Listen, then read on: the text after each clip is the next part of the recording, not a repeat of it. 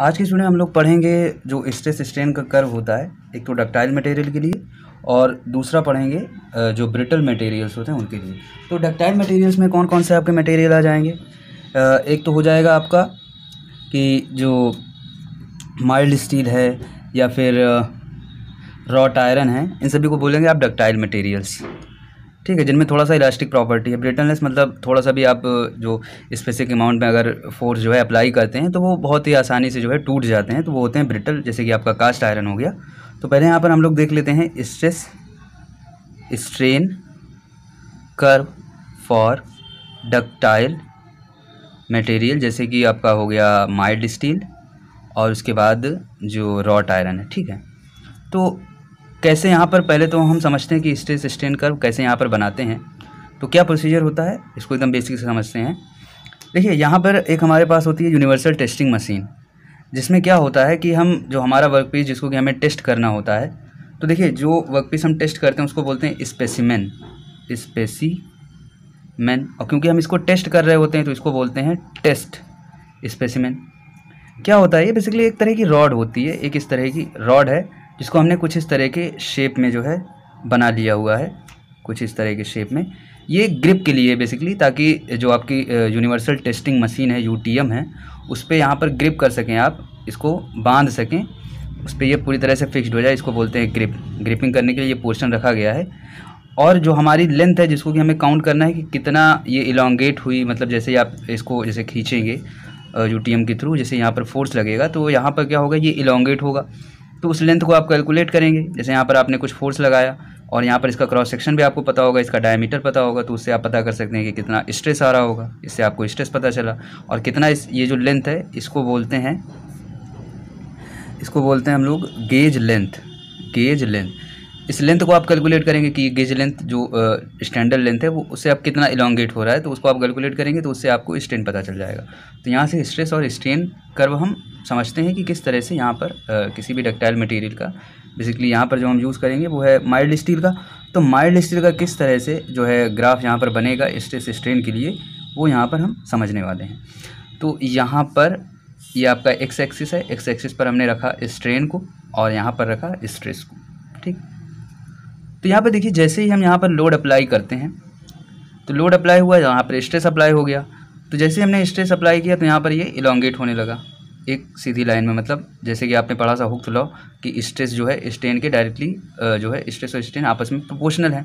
तो ये कुछ डिस्टेंस तक जो है कुछ जैसे आपने फोर्स लगाया, कुछ फोर्स की यूनिट तक कुछ फोर्स की वैल्यू तक ये जो है, एक स्ट्रेट लाइन होता है। ये आपका ओरिजिन ओ है ओ से ए तक। यहाँ पर ये जो है, यहाँ पर आपने स्ट्रेस लगाया तो जितना आप स्ट्रेस लगा रहे हैं, उसके एक प्रोपोर्शन में जो है स्ट्रेन यहाँ पर जनरेट हो रहा है।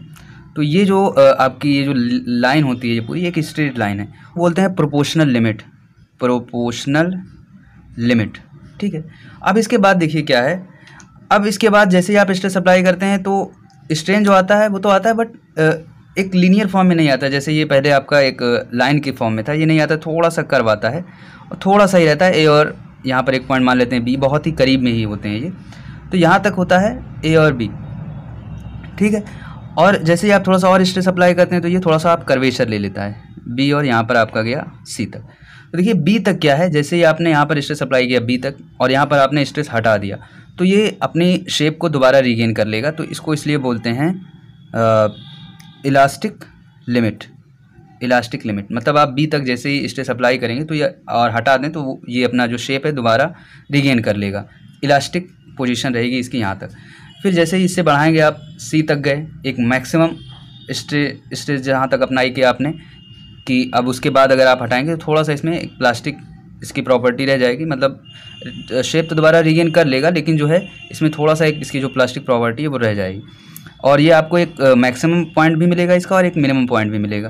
तो यहाँ पर सी मान लिया हमने और यहाँ पर एक डी तो यहाँ पर जो सी पॉइंट होता है इसको बोलते हैं अपर यील्ड पॉइंट और जो डी होता है इसको बोलते हैं लोअर यील्ड पॉइंट वहाँ तक कि जहाँ तक आपका अगर आप हटा दें तो यहाँ पर जो है इसकी कुछ ना कुछ प्लास्टिक प्रॉपर्टी रह जाती है बट थोड़ा सा जो शेप जो है अपना रीगेन कर पाता है यहाँ तक। लेकिन इसके बाद जैसे ही आप स्ट्रेस अप्लाई करेंगे तो अब ये पूरी तरह से एक प्लास्टिक फॉर्म में कन्वर्ट हो जाता है। अब ये अपने शेप को दोबारा रीगेन नहीं कर सकता है। यहाँ से आप देखेंगे तो ये कुछ इस तरह से अब बढ़ने लगेगा। फिर जो है इसका स्ट्रेन जो है बढ़ने लगेगा और यहाँ पर आपको एक ऐसा पॉइंट मिलेगा जहाँ पर ये जो आपका स्पेसिमेन है, अब इसमें नेक बनने लगेगा। मतलब इस तरह से ये इन किनारों पर छोटा होने लगेगा। मतलब ये धीरे धीरे टूटने की कंडीशन में आ जाएगा। तो जैसे यहाँ पर नेक बनने लगेगा तो इस पोजीशन को उस पॉइंट को हम नाम दे देते हैं ई और इस वैल्यू को हम लोग बोलते हैं, ये जो पॉइंट होता है, इसको बोलते हैं अल्टीमेट अल्टीमेट स्ट्रेस पॉइंट और इस पॉइंट पर जो स्ट्रेस होता है, इसको बोलते हैं अल्टीमेट स्ट्रेस ठीक है? तो अल्टीमेट स्ट्रेस पॉइंट तक आप जैसे कोई स्ट्रेस अप्लाई करते हैं तो उस वैल्यू तक नेक नहीं बनता है। मतलब इसके बाद से जस्ट नेक बनना चालू हो जाता है। और जैसे ही आप थोड़ा सा और यहाँ पर अप्लाई करेंगे तो ये जो हो जाएगा आपका, एक पॉइंट आएगा एफ़ और यहाँ पर जो है, ये रप्चर हो जाएगा, ये टूट जाएगा। तो यहाँ तक हो गया आपका रप्चर पॉइंट तो इसको एक बार थोड़ा सा फिर से देख लेते हैं। यहाँ पर जैसे ही आपने स्ट्रेस अप्लाई किया तो एक प्रोपोर्शनल लिमिट में जो है स्ट्रेन आपका बढ़ने लग गया। तो इसको हम लोग क्या बोलते हैं? इसको बोलते हैं प्रोपोर्शनल लिमिट ज़ीरो से ए तक की, या फिर इस स्ट्रेस को हम लोग बोलेंगे, यहाँ तक का जो पूरा स्ट्रेस इसको बोलते हैं वर्किंग स्ट्रेस मतलब यहाँ तक अगर आप अप्लाई करते हैं तो ये पूरा जो है अपना शेप दोबारा रीगेन कर लेता है। और जैसे ही आप ए से बी तक जाते हैं तो कर्व थोड़ा सा जो है आपका कर्वेचर में बदल जाता है, ये स्ट्रेट लाइन नहीं रहता है। और इस बी पॉइंट को बोलते हैं इलास्टिक पॉइंट यहाँ तक के पॉइंट तक जो है, अगर आप स्ट्रेस हटा देते हैं तो ये दोबारा अपने शेप को जो है रीगेन कर लेता है। उसके बाद जैसे आप बढ़ते हैं तो यहाँ पर एक पॉइंट आता है सी पॉइंट जिसके बाद से इसमें जो है प्लास्टिक प्रॉपर्टी आने लगती है।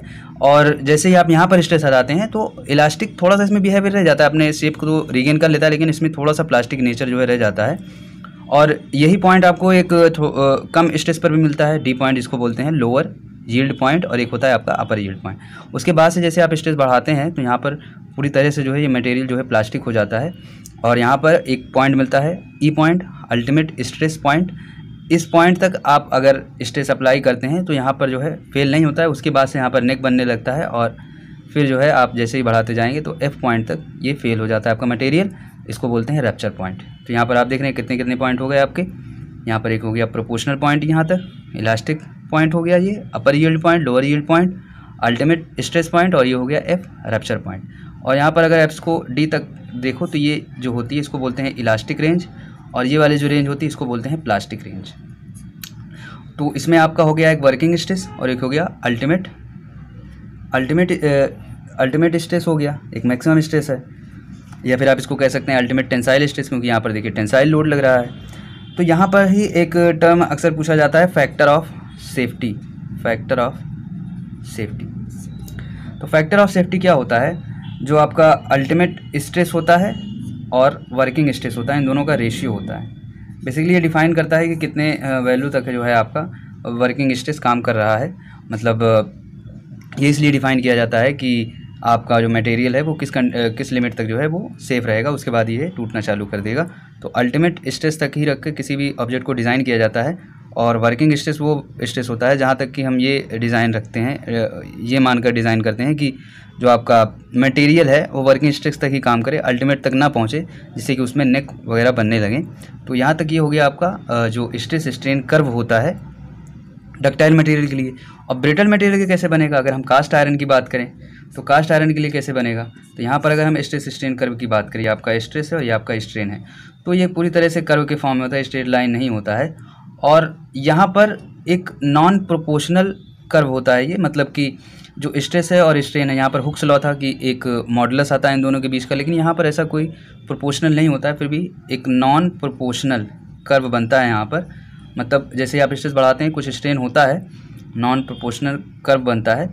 और यहाँ तक एक पॉइंट मिलता है आपको, जैसे कि यहाँ पर ना ही आपको इलास्टिक लिमिट मिलेगा इलास्टिक पॉइंट मिलेगा, ना ही यील्ड पॉइंट ना ही अल्टीमेट स्ट्रेस वगैरह। तो यहाँ पर एक पॉइंट होता है इसको बोलते हैं प्रूफ स्ट्रेस मतलब जिस स्ट्रेस के बाद से जो है ये जो नॉन प्रोपोर्शनल लिमिट है ये भी नहीं रह जाती तो उसको बोलते हैं प्रूफ स्ट्रेस या प्रूफ स्ट्रेस पॉइंट बोल सकते हैं आप। तो ये हो गया कर्व किसका कर्व हो गया? डक्टाइल मटेरियल का और जो ब्रिटल मटेरियल है इन दोनों के कर्व हो गए आपके। इसके बाद हम लोग अगले वीडियो में जो इलांगेशन होता है आ, बार में अगर वो अलग अलग क्रॉस सेक्शन की है या कंपोजिट सिस्टम में है तो उन सभी का जो इलांगेशन होता है, वो किस तरह से कैलकुलेट करते हैं, उसको पढ़ेंगे अगले वीडियो में। तो आज के वीडियो यहाँ पर एंड करते हैं।